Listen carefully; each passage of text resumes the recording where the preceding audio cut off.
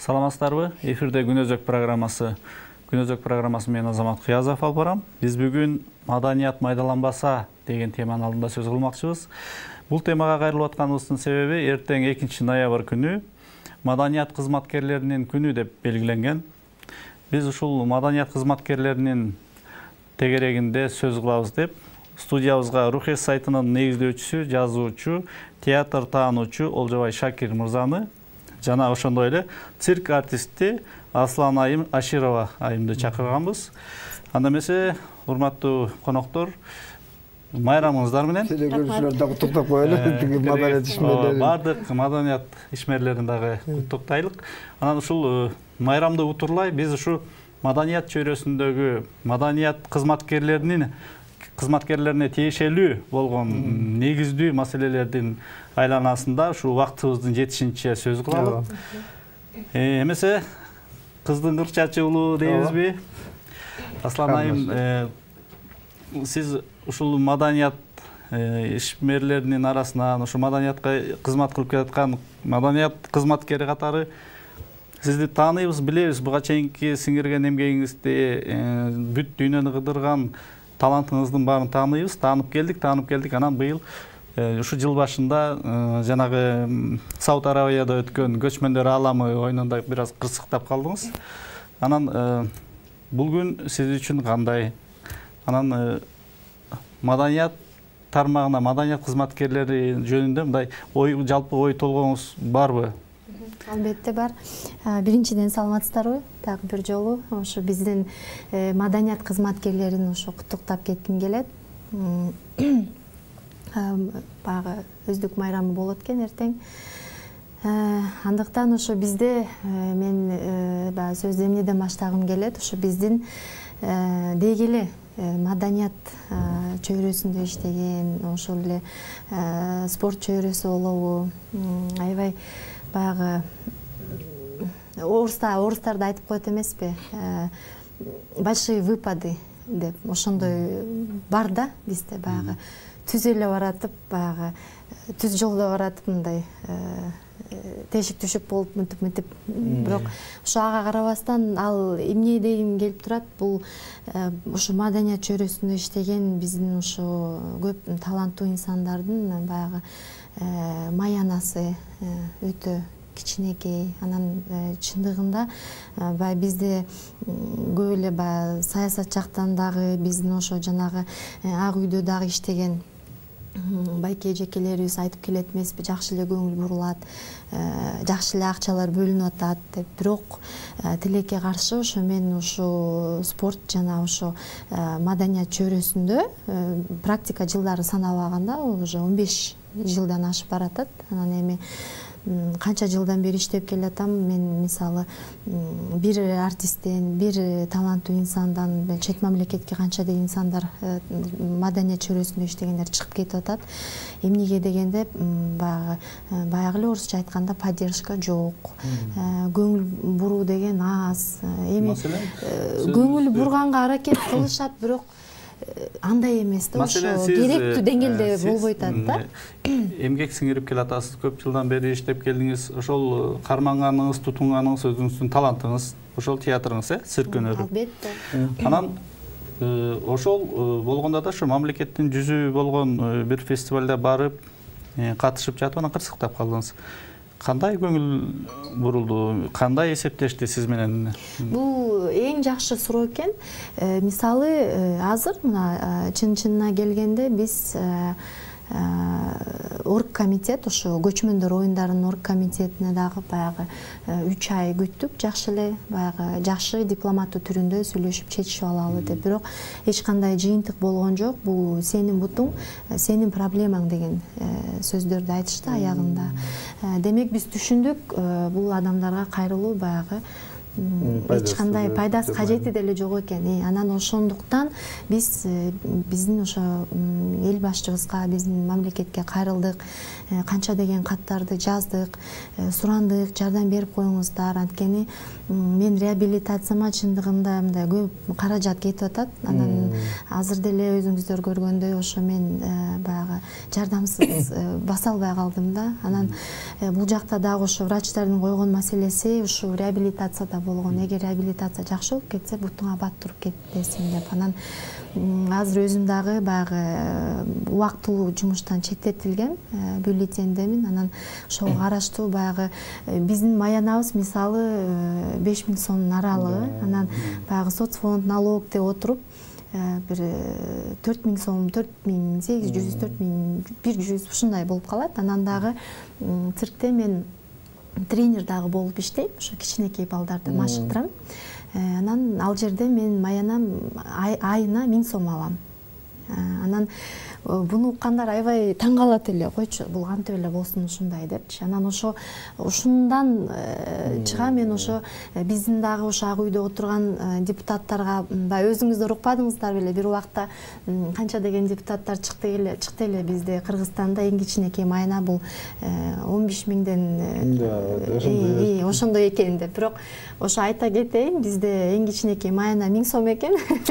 Ошо миң сомго А, мен бул жеке чыдап сиздин иштеп ушу азыркы маданият ишмерлерибиздин кызматкерлерибиздин абалы эң кызыгычы аслан айымды мен момундай тесттер кезинен билем да айнаш менен биз жатаканада чогуу жашаганбыз деди набережныйда атайын театр искусство аслан айымдын апасы айнаш же өмүр бою куурчак театрында иштеди ал киши же мындай айтканда ушундай кишилер бүгүнкү күндүн баатырлары да бүгүнкү күндүн каармандары да себеби булар үчүн баалуулук акча эмес искусство экени ушунда да рахмат анан себеби мына бүгүн ошол маданият ишмерлеринин майрамы деп атабыз да мындай айтканда жана чыңгыз айтматовдун биринчи мугалими бар эмеспи булар биринчи мындай ошо дүйшөндүн тагдырынан да оор немеге ка- кайыр болуп бирок искусство үчүн жаралып калганда мисалы сени мен кененеңден билип анан айнаш эже театрда иштеп жүрдү куурчак театрында куурчак театрынын репертуарында. Акын жазуучулар бир балдар үчүн спектакль жазып бербеген күндө да айнаш өзүнүн фантазиясы менен бирденке кылып анан кийин ктрде иштеп жүрдү э ооба азыр деле автордук передача тартып тиги ошо балдар үчүн жомок жасап анан бир өзүнүн фантазиясы менен капкакты куурчактар жасап чий куурчак тигилер жасапчы булар канча муунду тарбиялады айнаш эжечи өзүнүн кызы эми ал кишинин чыгармачыл изи менен келатканын да карабайсыңбы анан мынтип кырсыкка кабылып отурса кээде мындай да? Мамлекеттик саясат мындай топтоо үчүн э, бир ка- кайсы бир акын жазуучуларга же театр ишмерлерине артист намын же бир баатырлыкты берип коюп атпайбы качан бир э, өзү очоюп отуруп калгандан кийин пенсияга чыккандан кийин театрда баягы аракеттеги эмес артисттерге же жазуучуларга бир сыйлык наам берип коет ошолорго мына момундай чырактай кезинде адамга мотивация бере турган шыктандыра турган бир мамлекеттик колдоо саясаты болуш керек эле да а болбосо театр мындай өскүндүгү менен өзү баягы жетим өзгүндүгүн өзү кескендей театр оокатын кылып келатат жок дегенде могу кыргыз цирки бул жөн эле өнөр эмес улуттук өнөр маселен улуттук статусу бар өнөр да себеби ат үстүндө оюн чапкан бул ата бабадан бери келаткан нерсе анан ошол элегине булар мамлекет жөнүндө монтип капканга кармабай элечи жеке сектор катары эле өнүктүрүп эркиндикке берсечи андан көрө ушугандан көрө бир э, кор болбойт эле мынчалыкчы туура туура бизге чоң реформа керек да. Көп чоң реформа керек да. Баягы эле мамлекеттик түзүмдө кармап турат театрларды цирк да ошол да баягы тияктан жогору жактын э, дайындоосу менен директор бекилип калат да ошо менен анын менеджерлик жөндөмү барбы жокпу театрдын бүгүнкү акыбалы кандай ага карабайт да ошо менен эле биз момундай тордо кармап келатат да капаста кармап келгендей. ушул жакын арада э, москвадан цирк келди М. анан кичинекей алты жашар кызымды ээрчитип алып циркке бардым анан барып отурганда мага эмне көрүндү дебейсиздерби мен дагы кезегинде өз кезегинде ошо мен дагы беш алты жашар кезим болчу анан мына окуйм деп калган кезимде ошо ата энемди ээрчип ушул циркке киргенде отурган отургучту тааныдым ошого отурдум анан болгону ал отургучтар мындай эңкейип калыптыр улам улам тайгаланып кызымды биягына отургузуп э, эскилигин айтам да ошол өзгөрүү жагы көп болуптур эми андан бери канча жыл болду андай өзгөрүштөр жеке адамдын тагдырына эле мамилесин карабайсыңбы мисалы тиги аслан айымдынчы кепилдик жок болуп атпайбы искусство адамы бир кырсыкка кабылып кетсе да өрттөнүп кетсе да тагдыры талкаланып калса да мамлекет сыртта кала берип атпайбы анда эмне үчүн мамлекетке карайт эмне үчүн мамлекеттик же улуттук статус берилет да ушул театрларгачы дагы бир нерсе айта кетейин э, э, мынакей агай сиз жакшы жакшы бир жерин көтөрүп атасыз да чындыгында э, менде да ушундай суроо пайда болгон да мисалы бул жерде мындай болуп атпайбы бизде деген мына көчмөндөр оюндарынын конфедерациясы да. Бул баягы чоң конфедерация болуп эсептелинет биринчиден. Экинчиден баягы бүт кырдыран болобу орус драм болобу цирк болобу э, ошол эле каскадерлор э, федерациясы болобу э, салбурун федерациясы болобу тайганчылар болобу ушулардын баары ушулардын баары ушу көчмөн оюндары жакындаган сайын баары баягы бир баягы кандай десем мамлекеттик программа үчүн буларды ошондо бир программа менен түшүп ошого караштуу баягы тренировкалар башталат да.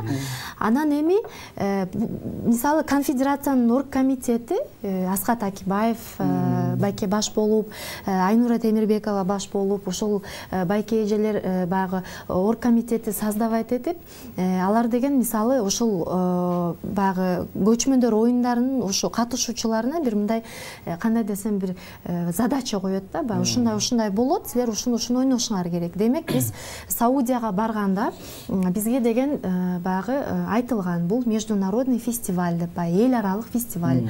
Демек эки жарым миң кишини кыргызстандан алып чыгып ал жака анан менин жеке оюм мындай болуп атат да алар билген эмес баягы ат үстүндө ойногон артисттер каскадер кыз балдар баягы кулап же бирдеке болушу мүмкүн депчи биз ошол жакта дал сегизинчи мартта сегизинчи март күнү мен үчүн сиз айткандай чоң белек болду да баягы бир нече бир кыздардын шалакылыгы боюнча ал жерде кагылышуу болду да. Анан эми оргкомитет мисалы алар кандай десем коопсуздук жагын эске алган жоготуп койду. Бул биринчиден экинчиден мени больницага алып келип ошол жерде калтырганда үч күн э, внутренний кровотечение менен жаттым. Э, арабтар айтты бул биздин э, биздин өлкөнүн гражданини эмес. Биздин резидент эмес демек бул кыздын документтери кайда оргкомитет айтат оргкомитеттин этот секретарь эмеси пресс секретары соклакова елена ал айтып атат бул казакстандан келген деп баягы документтерди ошентип толтуруп коюшуптур да. Анан демек мен ошол больницада казашка болуп калдым да бир моментте эле. Анан кандай десем эми ошол жерден билинип атпайбы? Биздин эч бирөөбүздүн медицинский страховкабыз жок экендиги анан бул деген чоң ката болуп атпайбы анан ошол жерден арабтар баягы э, суроо берди да. Эгер бул кыздын бутун кесип калсак үч күн жатып калды. Баягы ички кан внутренний кровотечение болуп эми. Бул кыз сепсис болсо мисалы бутун кесишибиз керек. Анткени бул кызды сактап калышыбыз керек да эгерде э, бияктан жазабайбыз анткени медицинский страховкасы жок экен бияктан жазатпайбыз десеңиздер анда кандай кыласыздар деди эгер бул кыз э, каза болуп калса дагы кандай кыласыңар ошону э, заранее операционный столго жата электе чечип алыңыздар деген дагы мындай күндөр болду да негизгиси аман эсен калганыбыз олжо болду олжеке ушул биз көчмөндөр оюндарына өтүп кеттик.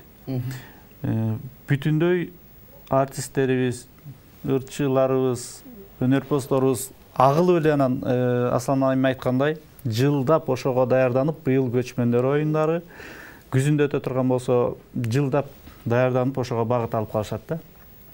Мунун канчалык таасири болот. Биз демейки демейки өнөр тартуулап турган элдин көңүлү үчүн эстетикалык баягы калыптанган маданиятты өнөрүн жумшабай алар аслан айым туура белгилеп атат ушу бурулуп калып атат да. Мунун бул тарых кайталанмада жанагы омар хаям жөнүндө проницатель деген кино бар да. Биз ушул оюндарды айтайын дегеним суроо бере турган суроом ушул оюндардын аркасы менен биз ушу театр өнөрпоздорубуздун табитин талантын энергиясын бузуп алган жокпузбу өзөгүн түшүндүм.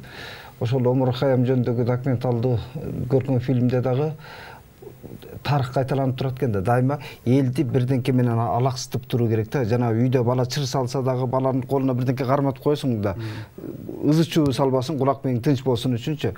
Ошол сыяктуу дагы бийлик институту ушундай болот. Коомду массаны алаксытып турган бирдекелерди көргөзүп керек да ушу көк бөрү сыяктуу же болбосо көчмөндөр оюну сыяктуу бирдеке менен элди алаксытып же себеби бизде андан чоң проблемалар бар да. Эл ошого акцент кылбасын үчүн элге жана той топурду уюштуруп берет бирөөнүн датасына келсе тарыхый инсан деген нерсени бетке кармайбыз да ошону мындай эмблема кылып алабыз да. Көчмөндөр оюну менен дагы себеби кыргыз бийлигинин кризистик абалында улам эле туруктуу боло албай бир неметип аткандан улам элди эмне менен алаксытуу керек. Ушу менен алаксыткан саясат болуп калды да. Анан мындайдын курмандыгы мына могу маңдайыбызда отурган чырактай карындашыбыз болот маселен айнаш эже канча бир карызга деле отурду болуш керек сенин саламаттыгың үчүнчү абдан чыркыраган бойдон калдык эми кайрылган жерибиз калган жок чындыгында. Азыр эми ошо ошо биз жактан да ошо адвокаттар дагы ошо биздин э, сооронбай шариповичке дагы кайрылып жатабыз дагы эле ошо дагы эле аракет кылып атабыз. Эми балким бир мамлекеттин бир кандай кичине болсо дагы бир жардамы тийсеби бул мындай да азаке мисалы маселен айсулуу тыныбекова өткөндө тиги чемпион болуп келгенде алтын медаль ушундай тебетегибизди көккө ыргытып сүйүндүк да. А эмне үчүн маселен бул карындашым майып болуп келгендегидей көңүл бурбайт да эле бир ийгилик алып келиш керекпи тиги мамлекет үчүн дагы бир чейин чемпион болгонго чейин эгер бул чемпион болуп бир жакка наам алып келсечи миллиондорду аябайт болчу да мындачы анан адамдын кара жаны мындай ушул канжыга башыңды байлап койгон болуп атпайсыңбы мындайчы мына мамлекеттик саясат ошол мындай нерсеге сөзсүз эле бир канча бой бесправойный сыйлык алып келсе чемпион болуп келсе элечи ошолорду төбөбүзгө көтөрүп тим эле калпак кийгизип атпайбызбы искусство адамдарына болбосо мына кино жаатында канча эл аралык э, кино фестивалдарда сыйлык алып келип аткан э, фильмдер бар э. Же болбосо бир өзүнүн акыл интеллектуалдуу менен интеллектуалдык өрнөгү менен сыйлык алып келип аткан бир значимый орунга илинип аткандар бар? Жок. Спорт чөйрөсүнө көңүл бурулат да.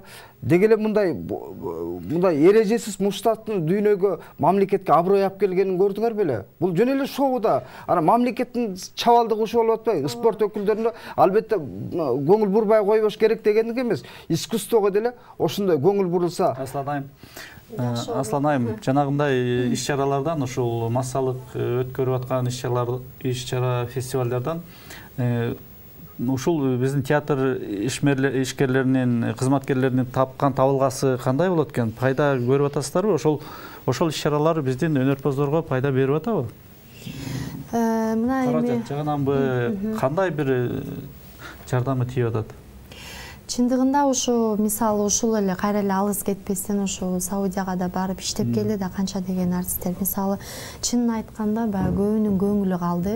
Бул биринчиден анткени биз саудияда жүргөн учурда баягы чөлдө иштеп жүргөн учурда бул кыргызстанда уже баягы интернетте соц тармактарда баягы кыргыздар ушинтип барып кичине уят болуп атышат сиякта деп бул деген. Бул бунун баары ошо оргкомитет аябай жакшы э, организация кылыш керек болчу да. Анан тилекке каршы чындыгында биз ал жака барганда арабтар э, дал ошо госпиталдын ичинен эле айтышты. Эй койкуй сенин чемоданыңды ачсак.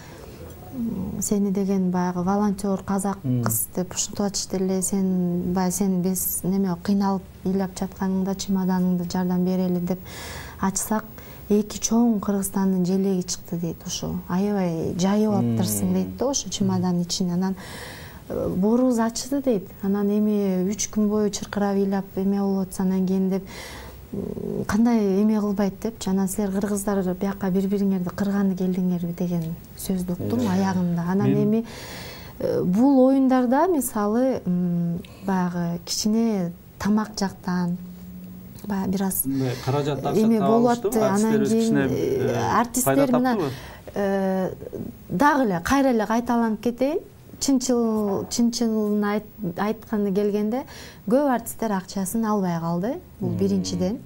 Э, мисалы бирөөлөргө айтылган башка артисттерге беш жүз доллардан деп калгандарына айтылган үч жүз доллар деп аслан айым ушундай да. түшүнүктүү. Эми биз ошол көчмөндөр аламы фестивалын жабалык биз ошол темага кеттик азыр. Э, келиңиз мындай кылабыз. Бүгүн мен маданият министрин чакырдым эле анан ал киши э, жетише албай дагы башка каналдарга чакырылганын айтып анан келе албайм деп билдирди. Ушул убакыттарга ал ошо маданият кызматкерлерине тапшыра турган сыйлыктарыбыз бар иш чараларыбыз бар. Бир эки үч саат төрт саатка чейин бошобойм дегенин айтты да. Сизди эстеп ушул ушул маданият күнүнө карата бир көңүлүңүздү көтөрө турган э, тизмеге кошулган жоксузбу? Э, бул кандай десем мен баягы награда эмес кичинекей бир жардам күтүп аттым эле чындыгында анан эми мен ал ал жөнүндө моралдык колдоо кичинекей көңүл деген эле нерсе да итке темирдин эмне дегендей маселен бир кайсы бир мамлекеттик сыйлык наамды же бир ардакемете берген эмеске бир нерсе айта кетейинби мен биздин министрге ошо азамат капаровичке буга чейин мен ошо азамат капарович өзү ошо саудияда жүргөндө бир алты саат аэропортко барар кезде биз саудиядан кыргызстанга алты саат калган болчу учуп кетер кезде госпитальга өзү келген өзү келди келип кандай жардам керек? Мен ошо түзмө түз азамат капаровичтин өзүнүн дал өзүнүн сурагым ал жерде деген фотоаппараттар да бар болчу камералар да бар болчу ошо камера тартып аткан учурда мен суроо бердим эле азамат капарович эми мен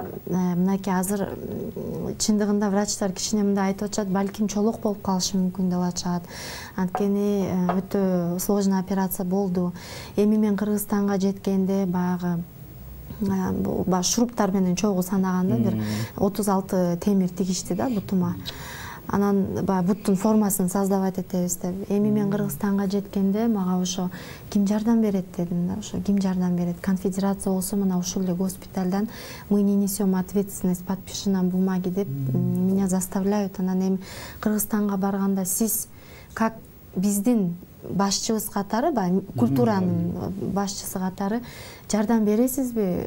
Бир аз көңүл бурасыздарбы деп ыйлап сураган болчумун чындыгында. Анан айтты баягы кыргызстанга келгенде албетте кантип таштап коебуз? Албетте көңүл буруп бул ситуацияны баягы текке кетирбей биз караштырып жардам бергенге аракет кылабыз деген. Анан эми мен кыргызстанга учуп келгенден кийин үч ай бою баягы эч кимге эме кылбай жардам баягы эме кылдым күттүм эми.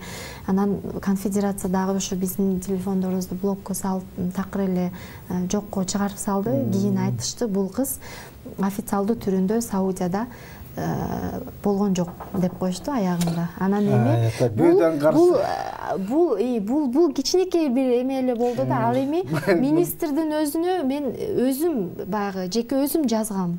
Жардам бериңизчи дегенде мен убакытым жок убакытым болгондо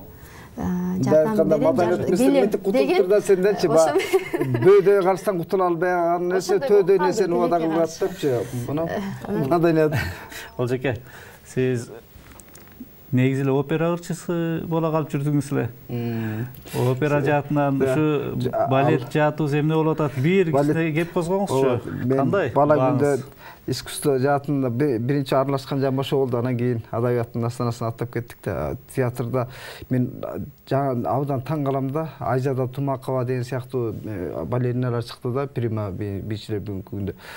Андан кийин асель тиги айдарова чыкты ушулардын өскөнүн көрүп жаман таң бересиң да себеби театрдын сахнасы сценасы ат сарайдай болуп калган жана жыртылган тактай жыртылганда бутунга тикен киргидей болуп калат эмеспи? Ошондой жерде бийлеп чоңойту да. Бирок мисалыга бүйүсария бейшеналиеваны совет бийлиги көкөлөтүп өстүрдү да миң жылкы ыйыктардачы эгемен жылдарында театр кудайдын боору ооругандай акыбалда бирок ушулар чыкты. Канчалаган балет өнөрпоздору казакстанга кетти чет өлкөлөргө кетти биздин кыргыздын өзүнүн таланты бар да бир кандайдыр кудуретти таң каласың да башка элдер бир нефтиси менен бир башкасы менен байыбаса кыргызстандын ушу таланттары бир жөн акчанын валютанын булагындай да четке кетет жанагы убактыбыз тарап баратыптыр беш мүнөт калды деп мага эскертип атышат биз аслан айымды каарман катары маданияттын тикелей каарманы катары бүгүн э, сүрөттөп алып чыгып атпайбызбы муну да бекер эмес мисалы үчүн э, көңүл буруу деген сөздү бекер айтып аткан жерим жок ушул акыркы соңку жылдарда бир канча маданият театрдын артисттери көзгө көрүнүп калган жакшы актерлордон ажырап атабыз да кайтыш болуп калып атат э жана марат козукеевке окшогон бир мыкты кезинде роль жаратпай кетип атышат да бирок азыр кудайга шүгүр театрларда актерлор болсун режиссерлор болсун байкуштар буту бут жерге тийбей эле тызылдап чуркап жүрүп атышат да тиги жаратып назым мендебаев маселен жазында айтматовдун жанагы кылым картар бир күн романын тим эле сыйымды пьеса кылып койбоду жаратып атышат ожеке бир кызык айтайын сизге сизди чакырып атабыз да жана сүйлөшөбүз анан бул жерге бир жигиттер келип калыптыр сүйлөшүп калдык маданият кызматкерлеринин күнү катары сөз кылат элек анан олжокемди чакырдык десем олжокең жазуучу да ал деген адабият тиги адабиятка карайт да маданиятка кандай тиешеси бар деп. Баарынан мурда сөз жаралган деген максимум түшүнбөгөндөр го анан кийин мен айттым ошол театр артисттери деле кино актерлор актрисалардын баары эле ошо чыгармага келип ошону сценарийге түшүп ооба да ошону окуйт да анан театр биринчи искусствосунун тарыхына келсең деле пьесаны ким жазат менимче драматургдар драматург адабияттын өкүлү да. Маселен сонетта ыр окусаң деле аны ким жаратат? Акын жаратат адабият маданиятты бөлүп кароонун бөлүп кароо экөө канчалык эже сиңди дейт адабият менен искусствочу анан азыр ушундай көз караш жаралып калыптыр ушуга карата кандай түшүнүк бере аласыз? Маданият өкүлү дегенге карата баягы биз тар түшүнүктө кабыл алабыз да маданият деген терминдин өзү бизде мисалы культура десе бул кеңири масштабта түшүнөсүң горизонталь момундай жайылып турат да маданият десе эле биз адамдын бир ички маданияты деген гана терминдиктин басым койбогонубузда да бугачы маданият дегенге ал улуттук дөөлөт мурастын баары кирет тиги театр өнөрү адабият баары мындай адамдын жеке жүрүм туруму маданият десе эле ошол биз баягы театрды бөлүп карабашыбыз керек да же театр жамаатын эле кыйратып бир чекесин жылытып атыппызбы же жазуучулардыкын ошол түшүнүк калыптанбаса биздин тиги аткаминерлер маданиятка болгон мамиле оңбосо албетте момундай адамда улуттук регрессия болуп атат да. Биз прогресс эмес регресске кеттик да. Болбосо мына театрга басып барган киши жок. Жума намаздарды көрсөң котологон эл той ашка десе котологон эл. Анан мындай эртең бүгүн көрөсүз го маселен. Маданият ишмерлерине кандай көңүл бурулат көңүлүнө жана алаксытып жанагы барактарды берет тиги жанагы эмне деп койчу эле ардай ардак грамота ушундай бирдекелерди берет соротот да. Ассалам айым сиз баягы катарда дайым кызматта жүргөн учурда көп байкалбаса керек элесе албасаңыз керек. Анан ушул кырсыктап отуруп калган күндөрдө анализ жүргүзүп көп элестер көп ойлор оюп келгендир анан кийин ошондо болбойт экен ушу артисттерге кесиптештериңизге кандай көз караш жаңы ойлор пайда болду чын эле өзүн өзү ошондой бутага салып киного салып анан талантын жертва дегенди кандай дейбиз ушундай багытка барып атышпайбы туурабы туура эмеспи экен эмнелерге өкүндүңүз эмнелерге кайра жол ачтыңыз? Кандай талдап анализ жүргүздүңүз могу биздин маданият тармагыбызга сиз жанагы жертва жөнүндө айтып кетпедиңизби ушу ушу ток этер жер ушул жер экен да эмнеге дегенде мен мисалы циркте режиссер катары дагы ушу мен экинчи образованием ушу режиссер. Анан э, циркте ошо бизде жанагы болгон өткөн мероприятиялар ошо биздин э, постановкалар анткени э, цирк искусствосу бул деген ошол жерде эле гимнастика спорттагы баягы бир аз дагы драматургиясы да камтылган бир постановкалар болушу керек деп мен баягы жеке оюм менен иштеп жакшы бир постановкаларды койгонго аябай көп аракет кылдым дагы. Кудайга шүгүр көптөгөн баягы мероприятияларды өткөргөн соң жакшы бир дайыма ойлочумун да бир жакшы деңгээлде бир жакшы вклад жасасак биз деги эле баягы жаштар биригип ошондо биздин кыргыз циркки балким дагы бир жакшы деңгээлге көтөрүлүп өссөбү деген. Бирок тилекке каршы бизде циркте баягы азыр семейный клан болуп кеткен да ал жерде. Анан өзүңүздөр деле уккансыздар буга чейин баягы бут тосуулар аябай көп болду. Ошол инсандар жактан анан баягы коркутуулар дагы болду чындыгында анан айым тилекке каршы биздин убактыбыз соңуна чыгып калды жыйынтык иретинде кыска кыска бир эки сүйлөм менен оюңуздарды айтыңыздар. Канткенде маданият кызматкерлеринин деңгээлин абалын көтөрө алабыз мен ойлойм деги эле баягы ушул маданият спорт чөйрөсүндө аябай кагылып урулуп иштеп миң сом болобу төрт миң сом алсак дагы баягы өз мен ойлойм маданият спорт чеберлери инсандары таланттуу инсандар булар өз жумушун сүйүп ушул кичинекей маянага карабай иштеп жүргөн инсандар да негизи. Анан эми баягы орустарда бир жакшы сөз бар эмеспи? Ты если хочешь увидеть лицо этой страны любой страны посмотри как какая у них культура и какой у них спорт дейт демек мен ушу айтар сөзүм ушу биздин мамлекет э, биздин ушу депутаттар э, биздин чоң адамдарыбыз мындайча айтканда э, министр культура болобу бир жакшы бир качественный көңүл бурса жакшы болот бул суроого жооп айткан айтпаган күндө да бирдеке өзгөрөбү жооп таппайм да. Алжеке рахмат.